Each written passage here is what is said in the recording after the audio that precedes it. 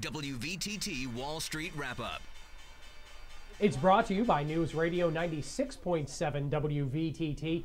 A mixed day on Wall Street with continued concern about Cyprus, the uh, European nation that uh, decided not to allow attacks on banks. The Dow closed up almost four points, 14,455.82 at the close. Nasdaq though down almost eight and a half full points, closing at 32.29, and the S&P 500 down almost four, closing at just a little over 1548.